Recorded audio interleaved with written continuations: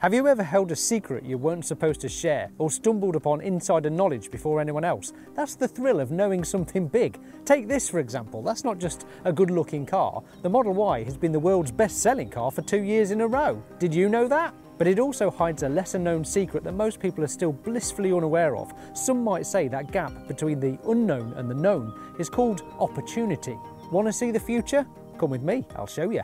Before I share some mind blowing comments from Elon Musk in a recent interview, it's no secret that Tesla have been working towards fully self driving cars for years. To say it's been a difficult challenge is an understatement, but I believe Tesla is finally on the cusp of making this a reality. If you're willing to examine the evidence I'm about to present, you might also realise that Tesla is the only company with the manufacturing capabilities, advanced AI, and real world data to deliver true autonomy at scale, and with it the opportunity of a lifetime. Put simply, 99.99% of people still don't get this about Tesla. What you are watching is a Tesla demonstrating its full self driving supervised technology by successfully navigating the chaotic Arc de Triomphe roundabout in Paris, a notorious 12 lane traffic circle with no lane markings or traffic lights. The FSD system handled the complex, high traffic environment flawlessly, showcasing its ability to manage unprecedented driving conditions. This matters because it highlights Tesla's progress towards robust autonomous driving, boosting confidence in its upcoming robo taxi service. More on that in a mo. But what's this? A right hand drive Tesla successfully demonstrating its autonomous capabilities around Melbourne in Australia and managing to carry out what's known as a hook turn, where you turn left in order to go right. I guess all countries have their quirky ideas. Over on X, myself, or possibly one of my adoring impersonators, says, How will FSD handle Britain's dumbest designed offerings?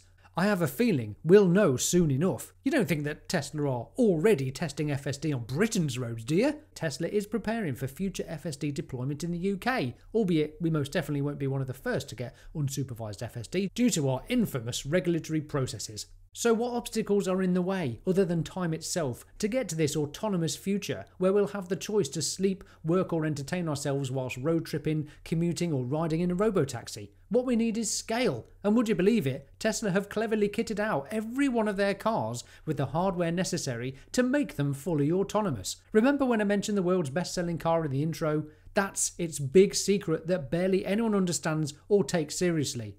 Every Tesla produced today is a robo-taxi of tomorrow, a moneymaker for its owner, a more affordable, safer means of travel for its occupier. This really will disrupt the auto industry on a scale we've never seen before. My, my prediction is that probably by the end of next year, uh, we'll have probably hundreds of thousands, if not over a million Teslas uh, doing self-driving in the U.S. Well, not the Cybercab. You're just talking about on full self-driving, level four. Unsupervised full self-driving, Right. meaning you do not need to pay attention. Right. For for me, if I own a Tesla and I have the software and the capability of doing it. Yes, we'll have a model which is kind of like uh, some combination of Uber and Airbnb. So if you if you're a Tesla owner, Right. uh, you'll be able to add or subtract your car to the fleet. So just like in Airbnb, you could like rent out your spare bedroom or rent out your Mm-hmm. house when you're not using it, and uh, the same thing will be uh, available for Tesla owners. So it's a way for Tesla owners to earn revenue. For, instead of having your car sit in the parking lot, your It's a- car could be earning money. So let me get this straight. Not only do Tesla owners get the pleasure of driving and owning subjectively the best, most efficient and fun, safest vehicles on the road that can currently drive themselves in some countries under supervision, of course, and if you are fortunate enough to have solar panels at home, you can fuel it for free. But once unsupervised FSD is approved, Tesla owners will be able to add or subtract their Teslas to the robotaxi network, earning you passive income while you sleep, or even when you're at work. Imagine that. That's an opportunity to be taken seriously right now. Everyone's Tesla has robotaxi potential. Cha-ching! We, we talked, you and I talked about that a couple of years Yeah. ago, which takes me back a bit because, of course, I mean, you remember 2019, you were talking about 2020, the introduction of autonomous, and now you just introduced a fairly somewhat ambitious target. Why do you have the confidence now that, what was it, in a year, there'll be a million available? Well, and, and by the end of next year, I think. End of next so it's year. just more End like of 18 months. 26, okay. Yeah, Right. Um, I, I think that's. I mean, these things happen slowly, but then all at once. Mm-hmm. So you know, it's uh, Peter Thiel has that book Zero to One. Once you make, once you have a proof point, once you have it working, then scaling up uh, is you know just a matter of time. For anyone paying attention to Tesla's solution to autonomy, you might have spotted that Tesla cars now drive themselves out of the factory and park themselves miles away, having to navigate busy areas full of random vehicles and pedestrians.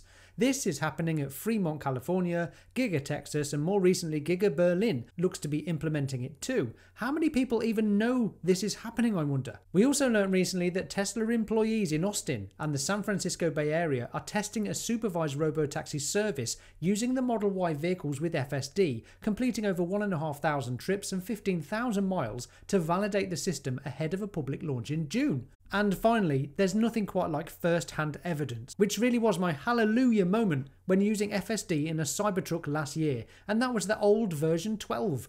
Version 13.2.9 is Tesla's latest version, which leaped ahead of the one I tried, and Tesla are preparing for FSD version 14 and unsupervised FSD, starting with the robotaxi service in Austin in a matter of weeks.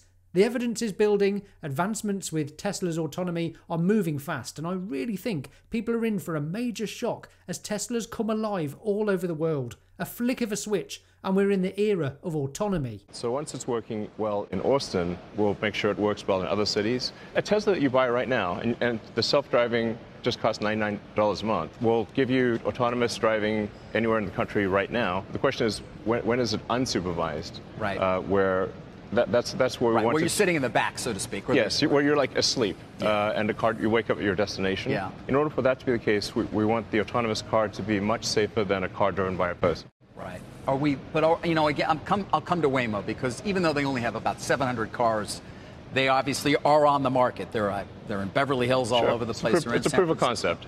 They've got 28 cameras. They've got lidar and radar. You've had a different approach. Six, I think, eight, eight to nine cameras and the neural network. Why do you feel that that is going to be the equivalent in terms of safety profile? Oh, I think it'll be better. Why? Uh, because the, the way that the road system is designed is for AI.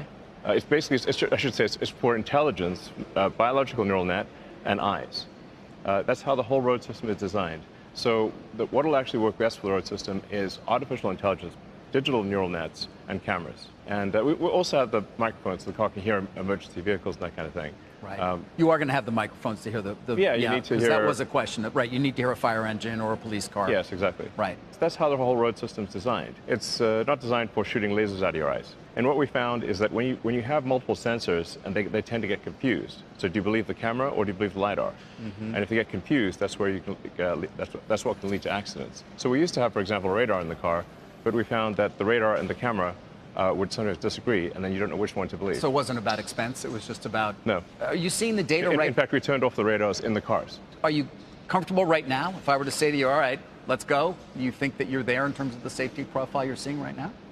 Yeah, we could, we could take a ride today if you want. Sure. Yeah. Well, I'm happy to take a ride with you anytime All right. you want, wherever you want. Um, Was it me, or did you notice a little bromance attempt there? Anyway, Waymo is at a disadvantage because, unlike Tesla, it lacks the massive production scale, high profitability per vehicle, and cost efficiencies from vertical integration, extensive real world FSD data from millions of cars, and an optimized electric vehicle platform, making it harder for Waymo to compete in the autonomous driving market. I just can't see a way that Waymo can survive the future if Tesla continues its relentless push towards a global robotaxi network. do you ever license, consider licensing the technology at some point? I mean, there are a number of um, major automakers that have talked to us about licensing self-driving, and um, we're very much open to that. The more we demonstrate the capability of self-driving, the more that they will want to license it, and we're, we're happy to help. But when we deploy the cars in, in, in Austin, we are actually going to deploy it not to the entire Austin region, but only to the, the parts of Austin that we consider to be the safest. So we will geofence it. You will. Yeah, of course. Right. It's not going to take intersections unless we are highly confident it'll it's going to do well with that intersection. It'll just it'll just take a route around that intersection. But there won't be a safety driver in the car, Correct. right? The car, it won't, there's not going to be somebody sitting there. Right. Whilst legacy autos are trying to catch a breath, catching up to the realization that the future is indeed electric, they will soon realize that Tesla is leapfrogging them once more with self driving cars. This is a widely unknown point that people, understandably, skeptically dismiss. If you understand Tesla's solution to autonomy, the fact that it's a simple over the air software update away from the millions of Teslas currently on the roads, plus Tesla's ambitious scale to manufacture cybercabs, the ultimate affordable efficiency machines, and don't get me started on Optimus, where the same vision based AI drives humanoid robots, You realise Tesla's unparalleled advantage is scaling autonomous technology across vehicles and robotics, leveraging its vast data, integrated manufacturing, and cost efficiencies to dominate both transportation and automation markets. You might say that's a huge opportunity. Don't say I didn't warn you. Check out one of these videos next. I'm Will. This is the Tesla Jigsaw. Thank you, patrons. Thank you for watching. Bye for now.